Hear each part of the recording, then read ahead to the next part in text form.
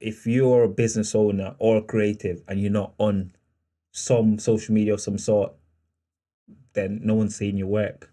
Your work's not getting out to the right people.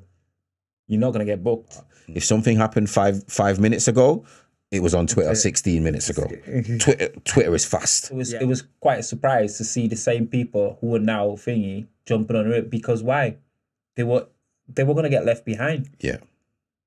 And they obviously realized that.